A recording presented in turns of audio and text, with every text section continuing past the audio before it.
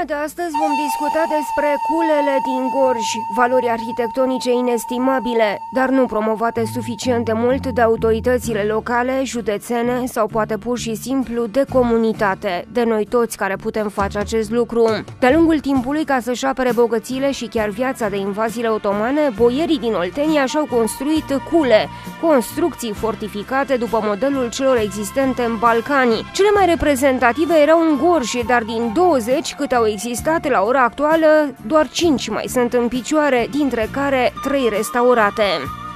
Câte astfel de case de cule avem în județul Gorj? În uh, Gorj au existat uh, în trecut foarte multe uh, cule, însă din păcate multe dintre ele, din cauza faptului că nu au fost întreținute, nu au fost reamenajate, au, au dispărut. Mai există cazul unei cule care, ca și această clădire, a fost restaurată, cea de la Glogova, uh, însă cea mai mare parte a culelor care ne-au rămas sunt într-o uh, stare de conservare uh, destul de precară, din păcate. Deci câte mai avem în momentul acesta? Cinci din cunoștințele mele. Unde? Dintre care două au fost restaurate.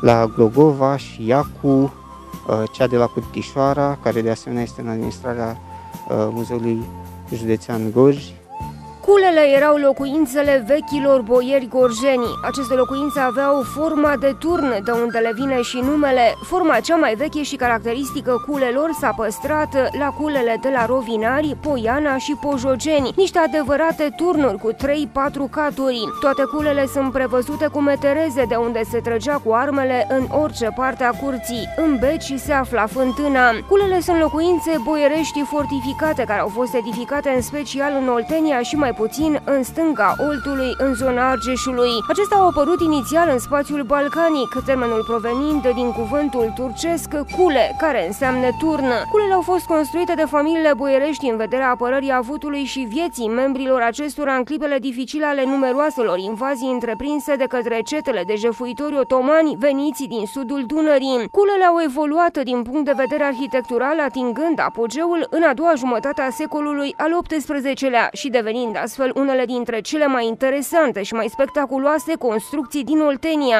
Culele capătă înfățișarea caracteristică în perioada fanariotă, când își extind aria de răspândire în cea mai mare parte a Olteniei. Unele dintre cele mai reprezentative și mai bine conservate cule din județul Gorj, alături de cula de la Glogova, sunt culele de la Curtișoara și de la Cartiu, aflate în administrarea Muzeului Județean Gorj Alexandru Ștefulescu. Casa familiei Cartianu din Cartiu este înregistrată în lista monumentelor istorice din uh, România și începând cu data de 15 iunie 2004 uh, a fost uh, atribuită spre administrarea Muzeului Județean Goj, după ce s-a încheiat un amplu proces de restaurare a acestei clădiri, inițiat încă în anul 1997 de către Comisia Monumentelor Istorice din România. Uh, construcția are o uh, istorie foarte interesantă.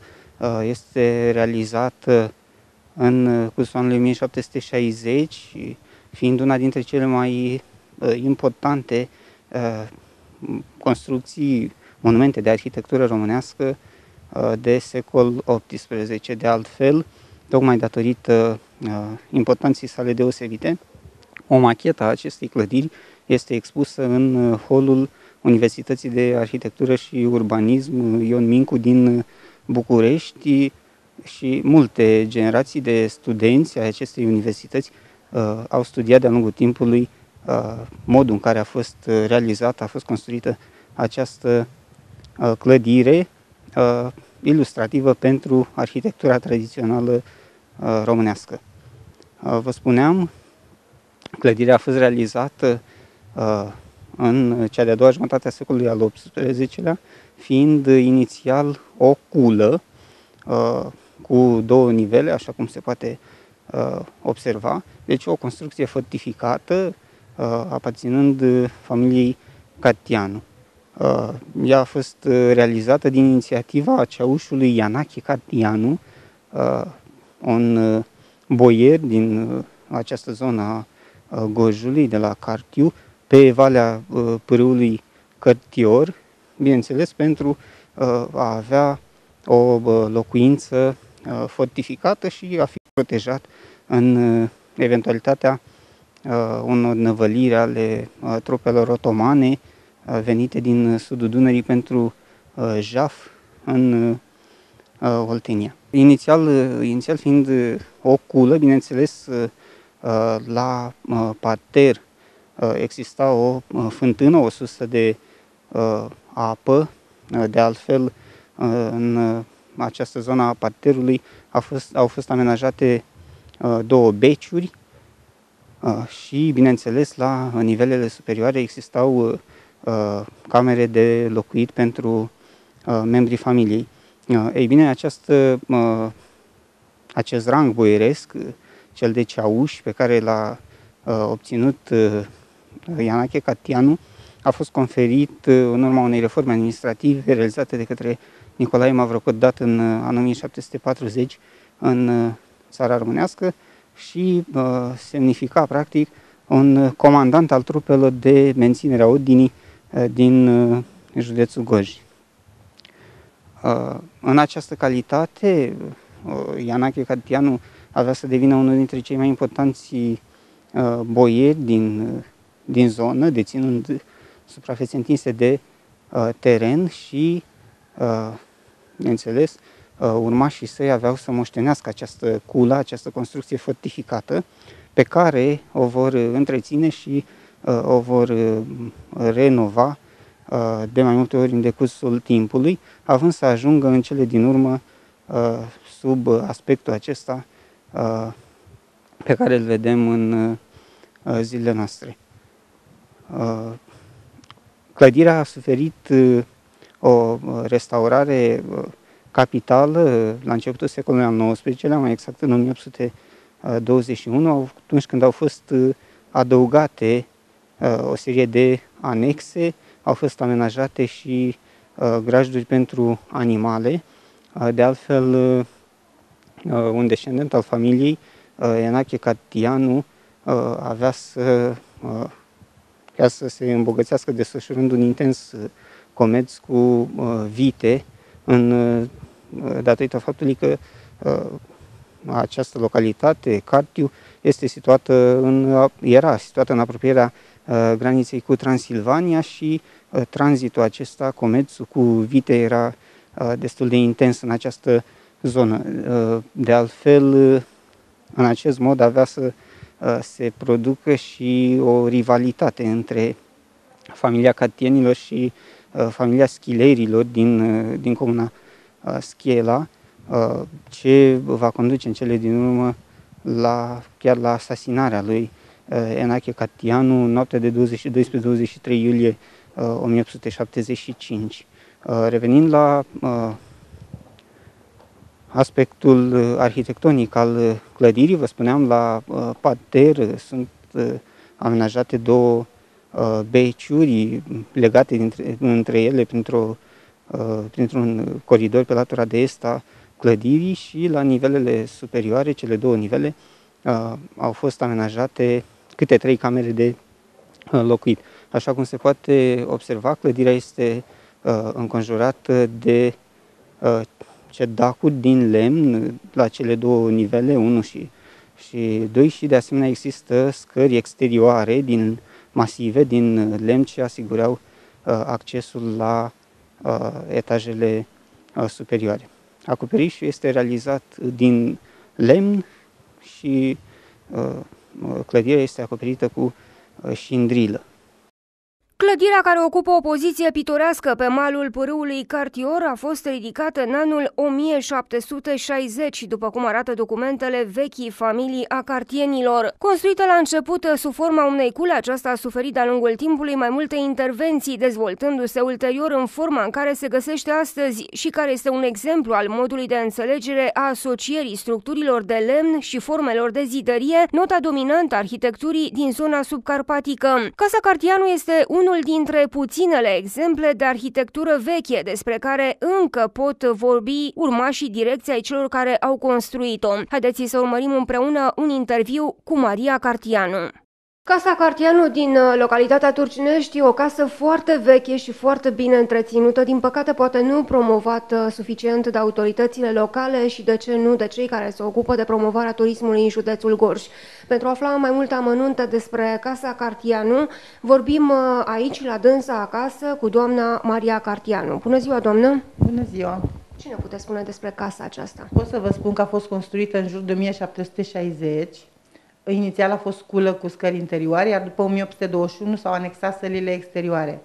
Înaintașul, cel care a construit casa, se zice că la origine era grec, uh, Ceaușu Cartianu, care a avut, uh, nu știm câți copii, de la Enache, fiul care a rămas în casă, știm că a avut 8 copii, uh, copii care au fost dați la școală, școliți, Ienache Cartianu s-a născut în 1821, a fost împușcat în fața casei în 1875, toți copiii rămânând minori în grija Dumitranei, soția dumnealui, care, zic eu, a fost o femeie aprigă, dacă a reușit să-și crească bine 8 copii. Enache a avut 8 copii, uh, Nicolae Cartianu a fost cel care a rămas în casă, restul au plecat în diverse colțuri ale țării și ale lumii, unul din copiii Ion ajungând chiar lord în Camera Lordilor, în Anglia. Nicolae Cartianu a avut șapte copii, a fost căsătorit cu Elena Cartianu, născută Pătrășcoiu, originară din Sâmbotin, a fost deputat în Parlament și a avut foarte mulți prieteni, nume ilustre, să zicem, la acea dată. Gheorghe Tătărescu venea frecvent aici în casă, uh, Barbu de la Vrancea a fost bun prieten cu Nicolae Cartianu și venea... Mă interesează să ne spuneți mai multe amănunte despre ceea ce găsim în casă. Adică am văzut că aveți foarte multe mm, tradiții, costume, covoare frumoase. Da, uh, casa găzduiește expoziție cu portul popular din Gorj, costume populare din diverse zone ale Gorjului, Uh, scoarțe, macaturi, covoare, perini, chiar și un, aici unde ne aflăm este amenajat un dormitor, patul a fost al casei. Patul cât de vechi este? Câți ani are?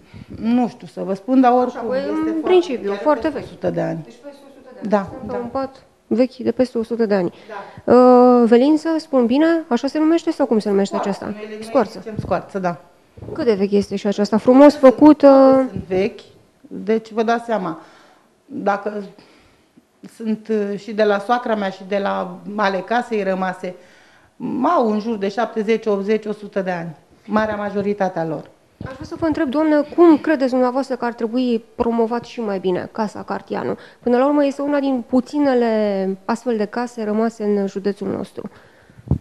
Păi eu știu, cred că indicatoarele lipsesc în primul rând. Pentru că, de exemplu, la pod acolo, la Târgu Jiu, la intrarea către Turcinești, nu este niciun indicator. Ă, foarte multă lume care vine zice, domne, de ce nu aveți mai multe indicatoare care să ne conducă? Opresc și întreabă, unde este pensiunea? Unde, scuzați-mă, unde este muzeul? Acum am, am văzut că aveți și o pensiune foarte frumoasă aici, da. deci turiștii dacă vin până la urmă au și unde se caza. Pensiunea Casa de, Cartianu. Da, deschis pensiunea, chiar uh, s-au înmulțit vizitatorii la muzeu, pentru că eu și vor, eu le povestesc și vor să vină să viziteze. Toată lumea este impresionată de frumusețea casei, de grosimea zidurilor, de vechimea casei, când le spun cât de veche este, de lucrurile care sunt adăpostite în casă. Da, și cât de bine s-a păstrat. Am văzut și scara, este foarte, foarte casa a fost groasă. Da.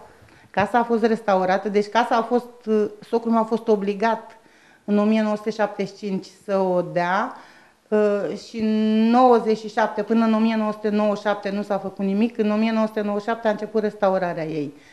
Toată lemnăria este restaurată, în afară de grinzi care sunt originale. Grinzile sunt de acolo, de la mama lor, de la 1760. La parter ce găsim, doamnă? Ce este acolo? Beci? Ce aveți acolo? Este bucătă, uh, la parter este, sunt beciurile. Beciurile. Da, are etajul 1 care are bucătăria, sala de mese și o sală mare de primire, nu știu cum să vă spun.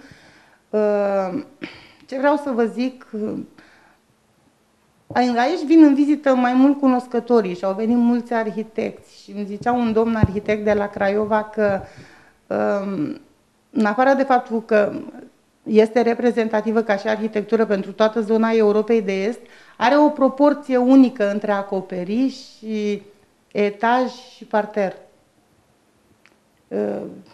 Nepromovată suficient. Asta este concluzia, nu? Da. Și mai mulți turiști bănuiesc că vin vara, atunci când e frumos. Vara vin foarte mulți, am avut și din străinătate, să știți că și străinii... Deci, în principiu, cei care iubesc uh, arhitectura, care iubesc frumosul, uh, sunt și cei care au revenit. Deci chiar acum vreo două săptămâni au venit de la Mehedinți și zicea, domnul, am fost în 2011 cu mama, mi-am luat prietenii și am revenit uh, să le arăt și lor ce frumos este aici. Noi așteptăm cu plăcere oricând, suntem la orice oră din zi, pentru că noaptea nu este lumină și nu se vede. Suntem prezenți aici, locuiesc alături și îi aștept cu mare plăcere oricând pe vizitatori.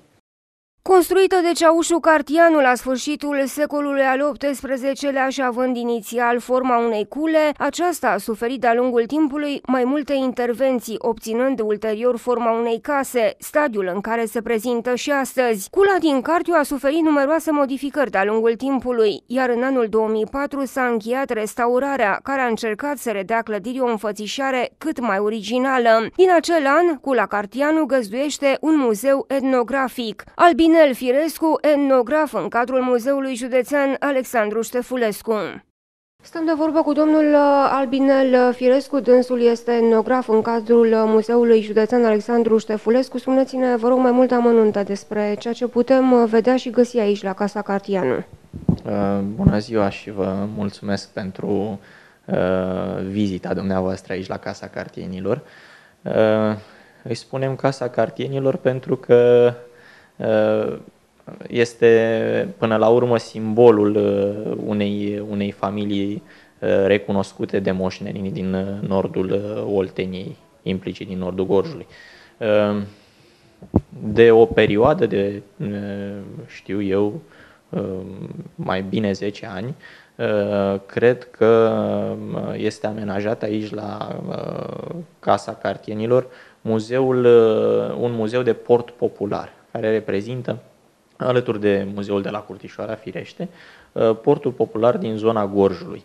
Um, se pot spune foarte multe lucruri despre uh, portul popular și după cum uh, se observă în, în interior, este ilustrat până la urmă modul de viață caracteristic sfârșitului de secol XIX, știu eu, începutului de secol 20, prin, uh, uh, printr-o întreagă pleiadă, dacă vreți, de uh, obiecte atribuite. Deci nu vorbim numai de port popular, dar portul în sine are acea caracteristică, acea amprentă esențială, nu, nu reprezintă până la urmă numai o piesă vestimentară, adică destinația este mult uh, mai uh, profundă și uh, are acea distinție pe care o conferă fiecărei persoane care îl, sau fiecărui titular. Distinție care până la urmă, pe care până la urmă cred că Dincă Schileru a adus-o la un anumit prag recunoscut prin strălucirea portului uh, tradițional. Iată, uh, portul popular din zona Gorjului uh, are o compoziție, știu eu, plurivalentă și anume poate să fie portul tradițional, portul de sărbătoare. Facem o paralelă și până la urmă ne referim mai mult la portul de sărbătoare decât la portul de zi cu zi, pentru că este, ce scuze, este uh, mai spectaculos și uh, elementele sale simbolice sunt uh, mult mai profunde. Portul de sărbătoare este la rândul său diferențiat în funcție de mai multe zone ale Gorjului. Știu eu, poate să fie în zone de interferență cu Mehedințul, poate să fie în zone de interferență cu Vâlcea sau Doljul. Dar, de asemenea, Uh, poate să fie acel port uh, evoluat din prima jumătate a secolului al XIX-lea, spun evoluat pentru că nota sa caracteristică este aceea distinctivă. Deci, caracteristica portului din această perioadă este de a realiza o distinție socială. Da? Și vorbim aici despre portul schilăresc. De asemenea, aceeași distinție socială o regăsim prin uh, antiteza dintre uh, portul uh, tradițional uh, gorjenesc și portul uh, de sorginte ungurenească, uh, caracteristic nu doar părții de nord a Gorjului, ci uh, întregii părți de nord a Olteniei și este legat evident ocupațional de uh, tradiția păstoritului de, uh, uh, și de transhumanță, evident. Uh, iată de asemenea, uh, portul incumbă o serie de alte, uh, știu eu, și nu doar portul, toate piesele de uh, textile, uh, incumbă o serie de uh, alte elemente și anume nu doar coloristica, nu doar uh, simbolistica, ci e, chiar și materialul de confecționat, da, din care sunt confecționate, modul în care sunt confecționate. Uh, se pot relata multe lucruri despre perioada sau uh, zona în care sunt confecționate. Iată, toate acestea dau o imagine asupra uh, epocii, dau o imagine asupra modului de viață al, uh, uh, din cadrul satului tradițional uh, românesc până la urmă. Și vorbim aici despre, și chiar accentuăm asupra modului de viață. De ce? Pentru că este radical schimbat cel din prezent sau cel actual față, cel de, față de cel de atunci. Piesele, fie sunt ele de port, fie sunt de uz casnic, au, uh, știu eu, valențele lor de la util până la plăcut și simbolic. Și atunci, iată, uh, suntem uh, puși în fața unei evidențe și anume importanța covârșitoare a structurii de port și popular și piese textile și de aceea își găsește foarte bine uh, reprezentarea aici la Casa Cartienilor, ca și muzeu.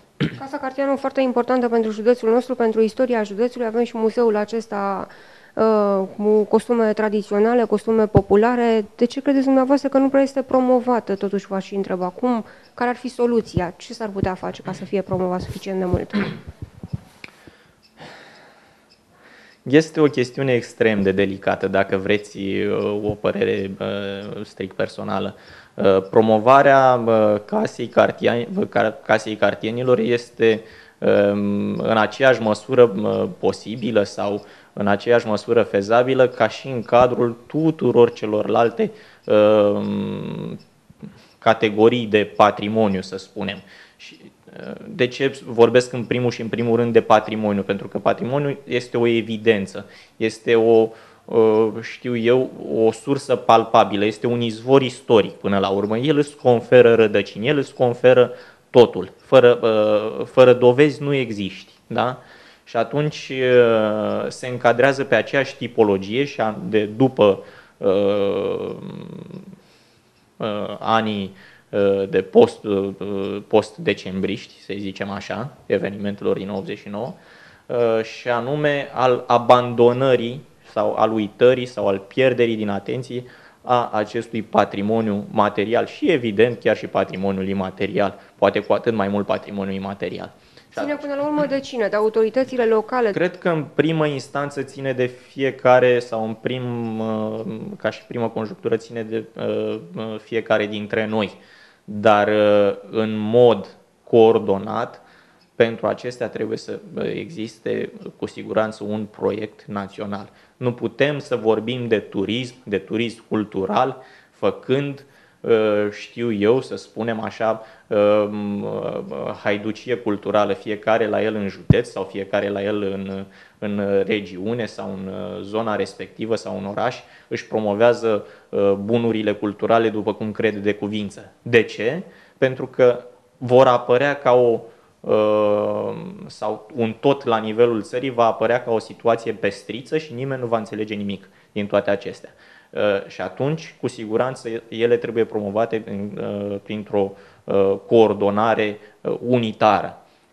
Poate, știu eu, poate măsurile administrative care se anunță să aducă această coordonare. N-aș putea să spun. Poate să fie o, o, o supoziție. Uh, ei bine, iată în zona, în anumite zone unde ale țării unde uh, înclinația către turism și uh, știu eu uh, necesitatea de a promova uh, turismul uh, a determinat adaptarea celor de acolo, unitatea până la urmă. Uh, etnolingvistică, culturală, dacă vreți, da? cum este în nordul Bucovinei. Uh, este o situație diferită de Oltenia. Da? E diferită de Oltenia pentru că Oltenia, din punct de vedere structural, o putem, de, uh, o putem împărți chiar și între nord și sud. Valorile oltene sunt diferite până la urmă, sunt destul de eterogene, nu sunt la fel de coordonate, la fel de constante, la fel de Uh, concentrice ca și în uh, Maramureș.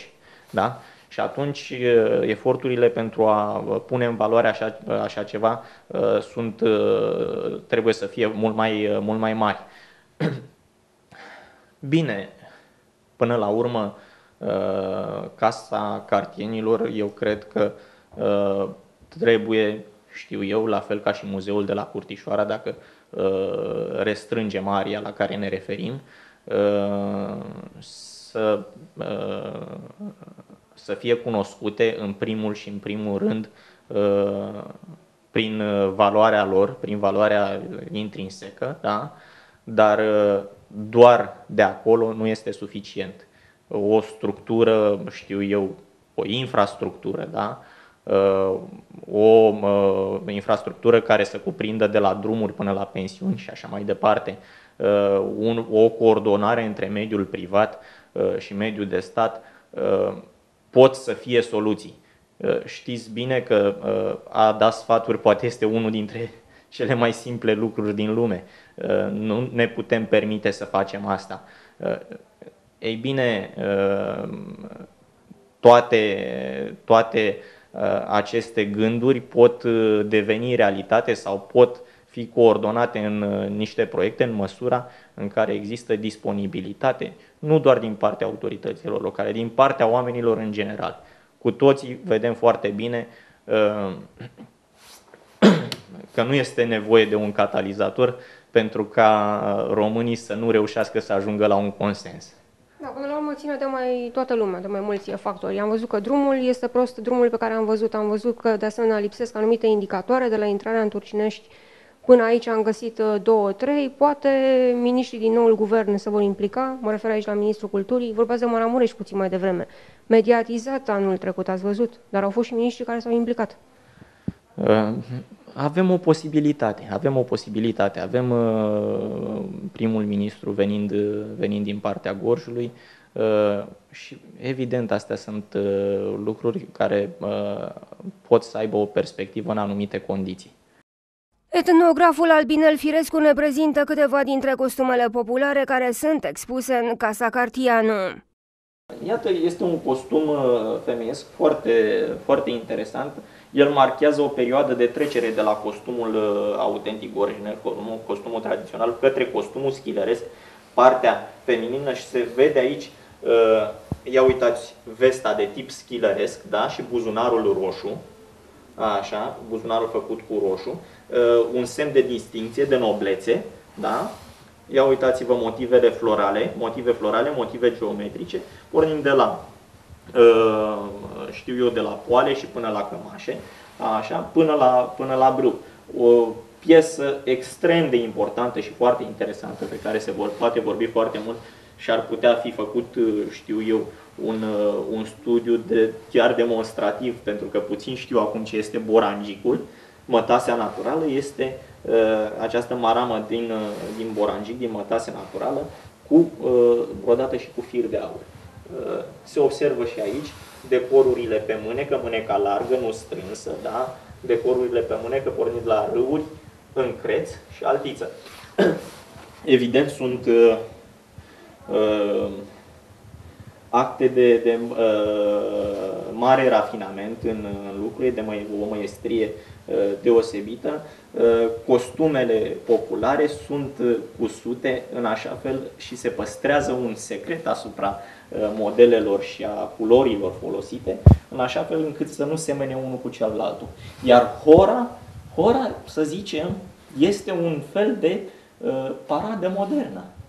Uh, până la urmă. Hora Acesta este un costum de sărbătoare, să înțelegem. Da, da, sigur, este un costum de sărbătoare. În general, cam ceea ce vedeți dumneavoastră prin muzee este costum de sărbătoare. Costum de lucru, costumele de lucru, costumele purtate zi de zi uh, sunt, uh, sunt mai puțin întâlnite. Sunt și foarte puțin spectaculoase.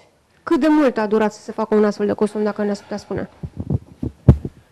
Este greu de spus Uh, este foarte, uh, ține foarte mult de priceperea uh, celei care a lucrat la costumul respectiv. N-aș putea să spun dacă aceeași femeie a făcut, știu eu, costumul propriu-zis și a realizat și marama de borangic. În mod cert, linia din, din această veste este de, de manufactură, da? și atunci numai broderia de, de margine pot să fie piese și bănuiesc că uh, această vestă poate să fie achiziționată. Uh, în mod cert, nu oricine își permitea să achiziționeze asemenea piese vestimentare. Da? Și atunci, uh, tocmai prin, prin aceasta, dar și prin spectaculozitatea sa, v-am exemplificat acolo cu buzunarul roșu, să știți, erau și pe albastru, se creează o oarecare distinție socială. Cula este înregistrată în lista monumentelor istorice din România sub denumirea de Casa Cartianu. Cula Cartianu a fost restaurată începând cu anul 1997, iar în anul 2004 s-a încheiat restaurarea care a încercat să redea clădirii o înfățișare cât mai originală. Din acel an, Cula Cartianu găzduiește Muzeul de Etnografie și Artă Populară Gorjană. Prin hotărârea 959 din 15 iunie 2004, publicată în monitorul oficial 565 din 25 25 iunie 2004 s-a trecut imobilul Monument Istoric Casa Cartianu din domeniul public al statului, din administrarea Oficiului Național al Monumentelor Istorice în domeniul public al județului Gorj și în administrarea Consiliului Județean Gorj. O machetă a culei Cartianu este expusă în holul Universității de Arhitectură și Urbanism Ion Mincu din București, fiind considerată reprezentativă pentru arhitectura românească din secolul al XVIII-lea.